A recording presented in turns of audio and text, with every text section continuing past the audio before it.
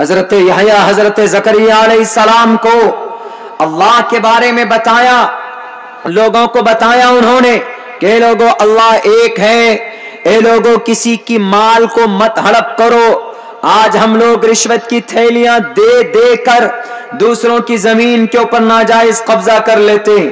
آج ہم لوگ رشوت کی تھیلیاں دے کر کیس جیت جاتے ہیں۔ وکیلوں کو خرید لیتے ہیں، بڑے بڑے وکیل اور ججز کو۔ اور ان کو وہ لوگ تو جھوٹے کو سچ سچ کے جھوٹ بنا کر پیش کر دیتے ہیں۔ ہم کیس جیت جاتے ہیں۔ دنیا کے نظر میں ہم سمجھتے ہیں کہ بھئی ہم تو جیت گئے۔ میرے بھائیو، آپ دنیا کی نظر میں، دنیا کے قانون کے نظر میں تو جیت چکے ہو آپ۔ دھول جھونک کر، لیکن اللہ تبارک و تعالیٰ کے نظر میں تم نہیں جیت پائے مرنے کے بعد تمہیں جہنم میں جلنا ہوگا۔ تم نے اپنی پراپرٹی کی مقدار نہیں بڑھائی۔ مرنے کے بعد اللہ تبارک و تعالیٰ انہی گناہوں کی وجہ سے انگاروں کی مقدار تمہاری بڑھا دی۔ جہنم میں جب جاؤ گے تو انگارے کی مقدار بڑی ہوئی ملے گی۔ آپ تمہیں لپیٹ میں لے لیں گے۔ اس لیے اللہ کے نبی علیہ السلام والسلام نے کہا، لَتُؤَدَّنَّ الْحُقُوقَ إِلَىٰ أَهْلِهَا اے زمین پر بسنے والے انسانوں، اگر تم پر کسی کا پیسہ ہے تو اس کو فوراً واپس کر دو۔ اگر تم نے کسی کی زمین کو تھوڑی سی غصب کر لی ہے، تو اس کو فوراً واپس کر دو، چھوڑ دو، ورنہ کل قیامت میں تمہیں سات زمینوں کا توق اور ازدہا بنا کر تمہارے گلے کے اندر لٹکایا جائے۔ اس وقت چیخو گے چلاؤ گے نیکیاں نہیں ہوں گی۔ اس وقت کوئی باپ بچانے والا نہیں ہوگا۔ ابھی تو رشوت دے کر گاندھی جی کا نوٹ دے کر کے خرید لیتے ہو وکیلوں کو کوٹ کچہریوں کو، سپریم کورٹ کے ججوں کو کے فیصلے کو بدل لیتے ہو۔ ہائی کورٹ کے اندر غلط فہمی پیدا کر دیتے ہو۔ وکیلوں کے سامنے ان کو الجھن میں ڈال دیتے ہو۔ لیکن وہ اللہ جس کو آج تک کوئی دھوکہ نہیں دے پایا، جو پوری دنیا کے ججوں کا جسٹس ہے وہ۔ Justice of mankind, justice of the world. Justice to the day of judgement تمام جہان کا مالک ہے وہ، نہیں بدل سکتے، ان کے آنکھ میں دھول نہیں جھو سکتے۔ اس لیے اللہ کے نبی نے کہا کہ اس دھرتی پر جس کا حق تم پر ہے، فوراً اس کو واپس کرو، ورنہ کل قیامت میں ایسا ہوگا۔ حاجی صاحب تو ہیں ہم، نماز پڑھتے ہیں زکات دیتے ہیں مولوی صاحب ہیں، داڑھی والے، ٹوپی والے، نماز پڑھتے ہیں، زکات دیتے ہیں، تسبیح کے دانے بھی پڑھتے ہیں، درود بھی پڑھتے ہیں بہت۔ عاشق رسول ہونے کا ہم دعویٰ بھی کرتے ہیں، ایک سچا مسلمان ہونے کا ہم دعویٰ کرتے ہیں۔ لیکن ہم نے دوسروں کو گالی دی ہے، دوسروں کے ناجائز طریقے سے مال ہم نے ہڑپ لیا ہے۔ تو کل قیامت میں اللہ کے نبی کا فرمان ہے، اس آدمی کو کھڑا کر دیا جائے گا۔ جس کے اوپر ظلم کیا ہے معاف نہیں کیا اس آدمی نے؟ تو ظالم سے کہا جائے گا، تو کھڑا رہے جس کا تم نے مال لیا ہے، اب وہاں قیامت میں تو مال ہوگا نہیں۔ تم اپنی نیکی دو اس کو، نیکیاں بانٹی جائیں گی اس کی۔ ایک ایک نیکی اس کی اٹھا اٹھا کر دی جانے لگیں گی۔ یہاں تک کہ اس کے پاس نیکیاں ختم ہو جائیں گی۔ اور لوگ بھی باقی رہیں گے بھی کہ میرا تو اب بھی اس کے پاس ہے، بقایا۔ تو اللہ کہے گا، اس کے پاس تو نیکی تو ہے نہیں، ایک کام کرو، ان کے گناہ اس کے سر پر ڈال دو۔ جو اللہ کا ولی تھا، جو بڑا دیندار تھا، نیکی بچی نہیں، اس کو گھسیٹ کر جہنم میں ڈال دیا جائے گا۔ اور وہ آدمی جو چھوٹا موٹا تھا، اس کی نیکی کی بدولت یہ جنت میں چلا جائے گا۔ میرے بھائیوں دنیا کے نظر میں دھول جھونک دیتے ہیں ہم۔ دنیا کے نظر میں برتری حاصل کر لیتے ہیں، لیکن وہ اللہ جو تمام کائنات، تمام مخلوقات اور تمام دنیا کا جو مالک اللہ الخلق والامر، پوری دنیا کا کریٹر آف دا ورلڈ ہے، ہم ان کی آنکھ کے اندر دھول نہیں جھوک سکتے۔ انہوں نے لوگوں کے سامنے، ان انبیاء کرام نے لوگوں کے سامنے بات رکھی کہ اے لوگو، اللہ ایک ہے، مان لو۔ اے لوگو، نماز پڑھو۔ اے لوگو، جھوٹ مت بولو۔ اے لوگو، رشوت مت کھاؤ۔ اے لوگو، سود مت کھاؤ، سود۔ جیسے مہلک بیماری، مت کھاؤ سود۔ جھوٹ مت بولو چغل خوری مت کرو، برائی مت کرو کسی کی۔ سماج کی بہو بیٹیوں کو بھی مخاطب کر کے کہا کہ بیٹیوں تم پردے میں رہو۔ اے بیٹیوں غیب محرم سے تم بات مت کرنا۔ تمہاری عزت تمہاری ہاتھ میں ہے۔ تمہارے کوک سے معین الدین چشتی پیدا ہوئے۔ آج کیوں نہیں پیدا ہوتے نیک بچے؟ تمہارے کوک سے بابا اجمیری پیدا ہوئے، فرید الدین گنج شکر رحمت اللہ علیہ پیدا ہوئے، تمہارے پیٹ سے سلطان صلاح الدین ایوبی نے جنم لیا، تمہارے پیٹ سے موسا بن نصیر پیدا ہوئے، تمہارے پیٹ سے محمد بن قاسم السخفی جیسا مجاہد پیدا ہوا۔ آج تمہارے کوٹ سے کیوں نہیں دیندار بچے پیدا ہوتے ہیں؟ کیوں؟ کیونکہ آج ہماری سماج کی بہو بیٹیاں بددین بن چکی۔ پردہ نہیں کرتی ہیں وہ۔ موبائل کے اندر پکچریں دیکھیں گی، غیر محرم سے باتیں کریں گی۔ اور تو اور، اس دھرتی کے اوپر قرآن پڑھنا پسند نہیں ہماری سماج کی بہو بیٹیوں کو۔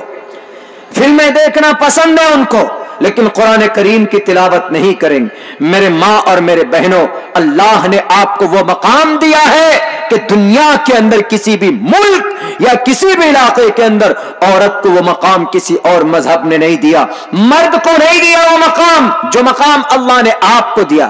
کتنا بڑا مقام دیا اللہ نے آپ کو کہ اللہ نے کہا کہ اگر عورت ماں ہے تو ماں کے قدم کے نیچے جنت، قدم کے نیچے۔ باپ، بیٹا بیٹا، اگر ماں کی نہ فرمانی کرے، ماں ناراض ہو جائے، اگر بیٹا صحابہ کیوں نہ ہے اگر بیٹا اللہ کا ولی کیوں نہ ہے اگر ماں کی نہ فرمانی کرتا ہے، اگر ماں کو ناراض کر دیتا ہے، اگر ماں کو تکلیف پہنچاتا ہے، اگر وہ اللہ کا بہت بڑا ولی بن جائے، وہ اللہ کا بہت بڑا پھر یہ متر بن جائے، لیکن ماں اگر اس سے ناراض ہے تو اس کی موت بھی نہیں آ سکتی، ماں کی رضا کے بغیر وہ اللہ کا ولی جنت بھی نہیں جا سکتا۔ کیونکہ ایک صحابی تھے، اس صحابی کو موت نہیں آ رہی تھی، تڑپ رہے تھے۔ تو اللہ کے نبی کے پاس شکایت پہنچی، تو محمد الرسول اللہ نے کہا کہ اس کی ماں کو بلاؤ۔ ان کی ماں بلائی گئی، تو ماں سے پوچھا کہ ماں، آپ سے آپ کا بیٹا، کوئی آپ سے کوئی غلطی کی آپ ناراض ہیں ان سے؟ انہوں نے کہا کہ میں اپنے بیٹے سے ناراض ہوں۔ میں معاف نہیں کروں گی اس کو۔ انہوں نے کہا کہ آپ جب تک معاف نہیں کرو گے تب تک اس کی روح نہیں نکلے گی، اسے تڑپتا رہے۔ انہوں نے کہا کہ کچھ بھی ہو جائے، میں معاف نہیں کروں گی اپنے بیٹے کو۔ انہوں نے مجھے دل، میرا دل دکھایا۔ کوئی غلطی ہوئی ہوگی، کوئی چوک ہوئی ہوگی ان سے۔ تو انہوں نے کہا اچھا ایک بات ہے، کام کرتے ہیں صحابہ۔ اے لوگوں لکڑی لاؤ، جمع کرو اور آگ جلاؤ۔ ان صحابی کو اسی پہ ڈال دیں گے، جلا کر راک کر دیں گے۔ تو ماں نے کہا کہ میری نظر کے سامنے آپ میرے بیٹے کو کیوں جلائیں گے؟ میں برداشت نہیں کر سکتی۔ انہوں نے کہا کہ اگر آپ ان کو اپنی نظروں کے سامنے آگ میں دیکھنا گوارا نہیں کر سکتی، تو اگر یہ مر بھی جائے گا، تو مرنے کے بعد جہنم میں چلے جائیں گے۔ تو کیا جہنم کی آگ میں جلنا آپ گوارا کریں گے اپنے اس بیٹے کو؟ کہا کہ نہیں۔ تو کہا، معاف کر دیجیے۔ جیسے ہی اس ماں نے معاف کیا، فوراً دو سیکنڈ کے اندر ان کی روح پرواز کر گئی۔ ماں ایسی چیز ہوتی۔ کبھی ہوتا ہے نا اپنے بچوں کو ماں کیا بولتے ہیں؟ بچہ اگر زیادہ تنگ کرتا ہے تو ماں کیا بولتی تھی؟ تم مرتا کیوں نہیں؟ مائیں بول دیتی۔ میری ماں آپ مذاق میں بھی اگر اپنے بچے کو بول دیتے ہیں کہ ارے تم مرتا کیوں نہیں؟ تو کہیں ہلاک کیوں نہیں ہو جاتا؟ تو آپ کی دعا، وہ دعا بھی قبول ہو جاتی، وہ بد دعا بھی قبول ہو جاتی۔ اسی لیے کبھی مذاق میں بھی اپنے بچے کو سیریس میں تو آپ جو بد دعا کریں گی وہ تو لگنا ہی لگنا ہے۔ بد دعا قبول ہوتی ہوتی، لیکن مذاق میں بھی اپنی، اپنے بچوں کو اور اپنے اولاد کو آپ اس طرح کی بد دعا نہ دیں۔ ہو سکتا ہے قبولیت کی گھڑی آپ کی بد دعا قبول ہو جائے۔ اور پھر بیٹا آپ کا کہیں پر ہلاک ہو جائے تو آپ پھر روتے پھرتے ہیں کہ ہمارے بیٹے کے ساتھ اتنا بڑا حادثہ ہو گیا۔ لیکن نہیں سوچتے کہ پیچھے اپنے بد دعا آپ ہی نے دی تھی۔ اسی لیے اوائڈ بچیے۔ نبی پاک علیہ السلام والسلام سے پہلے جو انبیاء ہے ان کو اسی شریعت اور اسی کلمے کی تبلیغ کی بنیاد پر آج جو لوگوں کو کلمے اور ایمان کی بنیاد پر مارے جا رہے ہیں لوگ دلی اور دوسرے شہروں کے اندر۔ تقریباً چالیس سے پچاس لوگ مرے۔ ان میں ہندو بھی ہیں، ان میں مسلمان بھی۔ لیکن اکثریت بڑی تعداد ان میں ہندو مسلم بھائیوں کی۔ ان کو صرف اس لیے مارا گیا مسجد کے گمبت پر چڑھ کر ہنومان جی کا جھنڈا لگا دیا گیا۔ ان دنگائیوں نے ان فسادیوں نے ان کو تو ان, ان کو تو اب تک پھانسی کیا اس کو سولی دے دینا چاہیے تھا اب تک؟ صرف اس لیے کہ بھئی ہم کلمہ پڑھنے والے صرف اس لیے کہ ہم قرآن والے۔ آج وقت ہے ضرورت ہے آج ہم کو پریشان کیا جا رہا۔ اور ہم لوگ ڈرے ہوئے، میرے بھائیوں ڈرنے کی ضرورت نہیں، حالات نہ گفتہ بھی ضرور ہے ہم اللہ سے دعا کریں، اللہ سے دعا کریں، قانونی جو لڑائی ہوگی، ہم لڑتے رہیں گے۔ اس لیے کہ اب سے پہلے بھی کلمے کے نام پر پریشان کیا گیا۔ نبیوں کو پہلے زمانے میں جو نبی تھے، شروعات کے اندر جب وہ کلمے کی بات کرتے تھے، شریعت کی بات کرتے تھے، تو گاؤں والوں کھل کر ان کی مخالفت کرتے تھے، ایک دم بالکل بائی کاٹ کر دیتے تھے۔ ایک نبی ہے جن کا نام زکریہ علیہ السلام، ایک نبی ہے جن کا نام یحییٰ علیہ السلام۔ یحییٰ علیہ السلام تو ایک مرتبہ اپنی قوم سے تنگ آ کر ان کو مارنے کی پوری کوشش کی گئی۔ ان سے تنگ آ کر چھپ گئے۔ ان کو قتل کرنے کے لیے بھاگے لوگ کہ یہ بہت پریشان کرتا ہے، ان کا ان کا کام ہی کر دو، ان کا صفایا کر دو۔ یعنی ان کا قتل کر دو۔ ان کی ہتیا کرنے کی نیت سے ارادے سے قوم کے لوگ بھاگے۔ ایک اللہ کے نبی کو ہتیا کرنے کے لیے، ان کی ہتیا کرنے کے لیے قوم کے لوگ گئے۔ اور حضرت علیہ السلام جا کے ایک درخت میں چھپ جاتے ہیں۔ وہ درخت کے اندر سوراخ ہوتا ہے تو جا کے چھپ جاتے ہیں۔ تو قوم کے لوگوں نے ان کو بخشا نہیں۔ قوم کے لوگوں نے ان کو چھوڑا نہیں، بلکہ ان کا ظلم دیکھے کتنا بڑا تھا۔ ان کا ان کے دل کے اندر رحم نہیں آیا۔ ان غداروں نے حضرت یحییٰ علیہ السلام کو اللہ کے اس پاک پوتر نبی کو صرف جرم یہ تھا کہ اللہ کی وحدانیت کو لوگوں کے سامنے انہوں نے پیش کیا تھا۔ اللہ کے پیغام کو لوگوں کو سمجھانے کی کوشش کی تھی۔ آرا آری بلٹ جس سے پیڑ پودے کاٹتے ہیں۔ جس پیڑ میں چھپے تھے وہ اپنی جان بچانے کے لیے، ان قوم کے بدمست شرابیوں نے، ان نالاق نہنجاروں نے، ان راکشس اور شیطان کے اولادوں نے اس پورے پیڑ کو بیچ سے چیر دیا، حضرت زکریہ کے جسم کے دو ٹکڑے کر دیے گئے۔ میرے بھائیوں، یہ قربانی دی تھی انہوں نے، اسلام کے خاطر، ایمان کے خاطر اللہ کے نبی کے زمانے میں آ جائیے۔ اللہ کے نبی کے اوپر تو اتنا ظلم کیا گیا، اتنا ظلم کیا گیا کہ دنیا کے دوسرے گرنتھوں کے اندر بھی اس کا ثبوت موجود کہ محمد کو اتنا تڑپایا گیا۔ محمد کے ہمیشہ آئے، آمنے، سامنے، آگے، پیچھے چار لوگ رہتے تھے، چتر بھر بھراتری بھر دیو کرشیامی کلکشم۔ ہمیشہ سے چار لوگ باڈی گارڈ کی طرح اللہ کے نبی کے پیچھے، آگے پیچھے رہتے تھے۔ اور وہ چار لوگ کون تھے؟ اللہ کے نبی علیہ السلام کے بڑے قریب اور بڑے خاص حضرت ابو بکر صدیق، عمر فاروق رضی اللہ تعالیٰ عثمان ذنورین رضی اللہ تعالیٰ اور حیدر علی، حضرت علی رضی اللہ تعالیٰ چاروں لوگ، چاروں تھے جو اللہ کے نبی کی حفاظت کرتی تھی۔ ہمیشہ ہر وقت ہر دم چتر بھر بھراتری بھر دے۔ کل شامی کلکشم جنگ احد کے موقع پر اللہ کے نبی کے اوپر تیر کی بارشیں چلائی گئی تھی۔ تیر آپ کی طرف پھینکے جا رہے تھے۔ بھالے آپ کے طرف پھینکے جا رہے تھے۔ تو ان میں سے کچھ صحابی تھے وہاں پر جن کا ذکر کیا گیا ہے۔ نرا ایش اشائیں ماں مہے شتن نشکان ادس شتر جہاں۔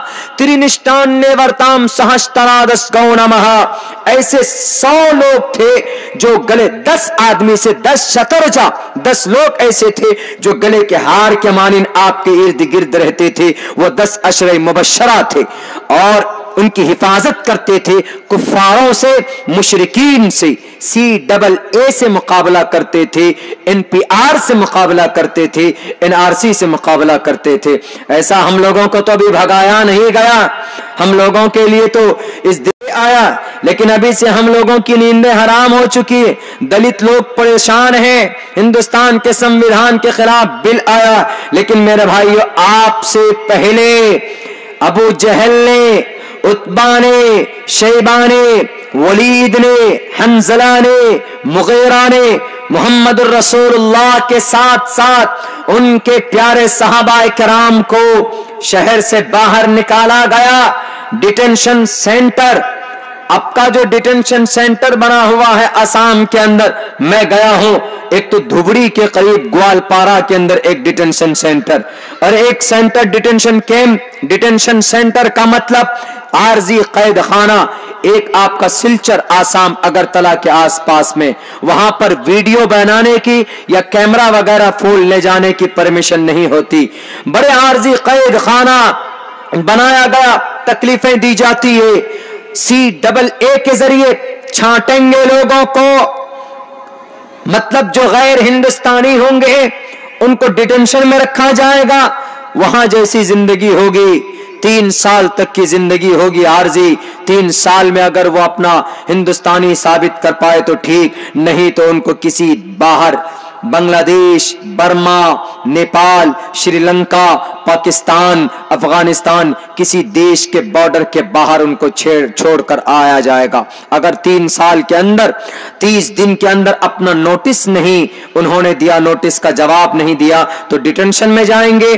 اور ڈیٹینشن میں جانے کے بعد تین سال کا ان کو ٹائم ملے گا۔ تین سال کے اندر اپنا پروف جمع نہیں کر پائے، تو ان کو اس دیش سے باہر جانا پڑے گا۔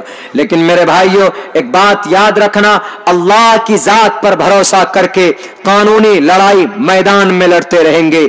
یہ جو اسمبدھانی قانون آیا ہے، بنا ہے، غیر قانونی ہے، یہ غیر آئینی ہے بھارت کے سمویدھان کے خلاف یہ قانون بنا ہے۔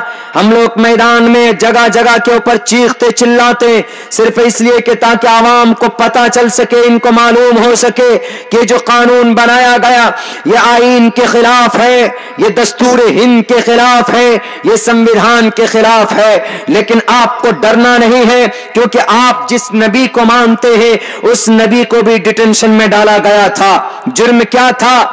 ابو جہل کے چیلوں کا مشن کیا تھا کہ محمد اللہ کی بات کرتا ہے محمد قرآن کی بات کرتا ہے، محمد نماز کی بات کرتا ہے، محمد اذان کی بات کرتا ہے، محمد پردے کی بات کرتا ہے، محمد عورت کو عزت دیتا ہے، محمد عورت بیٹی کو گھر کی رحمت بتاتا ہے۔ دو بیٹی جس کے گھر میں ہو، پرورش کرنے کے بعد مرے گا تو وہ جنت میں میرے ساتھ ایسے کھڑا ہوگا۔ یہ یہ بشارت محمد کے۔ محمد سنواتا ہے، اس لیے محمد کو ایک کام کرو، گھس پیٹیاں قرار دے دو۔ یعنی نبی پاک علیہ السلام السلام کو سی ڈبل اے کے ذریعے، این آر سی کے ذریعے سے مکہ سے باہر کر دو۔ اور یہی ہوا میرے بھائیو، وہ نبی جن کا پشتہا پشت تک کابت اللہ کے اندر تھے اور بہت دنوں سے تھے۔ سب سے بڑا قبیلہ مانا جاتا تھا محمد الرسول اللہ کا۔ سب سے بڑا گھرانہ تھا محمد الرسول اللہ کا۔ بنو ہاشم، قبیلہ قریش خاندان ہاشم کے اندر آپ کا جنم ہوا تھا، اس سے بڑا قبیلہ کابت اللہ مکت المکرمہ کے اندر کوئی دوسرا نہیں تھا، جس کے بارے میں ویدات کی کتابوں کے اندر بھی کہا گیا، سنبھل گرام گکھس براہ مانیس مکھ خاندان میں۔ براہ مانیس کہا تمن بھون وشنو یشسا۔ بھوشتی بھون وشنو یشسا، کل کی پرادر بھوشتی اس زمین کے اوپر اچے ونش کے، اونچے نصب کے آلی نصب کے خاندان لے کر آئیں گے۔ محمد چالیس سال تک رہے اس گھر میں، اس کابت اللہ کے در و دیوار میں۔ چالیس سال کے بعد نبوت دی گئی تو تیرہ سال اور رہے آپ علیہ سرات وسلام لیکن جب نبوت اس سے پہلے کوئی رنجش نہیں تھی، اس سے پہلے کوئی دشمنی نہیں تھی چالیس سال تک۔ چالیس سال کے بعد جیسے ہی بات کی آپ نے ٹوپی کی، جیسے ہی بات کی آپ نے کلیمے کی، جیسے ہی بات کی آپ نے قرآن کی، جیسے ہی بات کی آپ نے فرشتوں کی، جیسے ہی بات کی آپ نے مسجد کی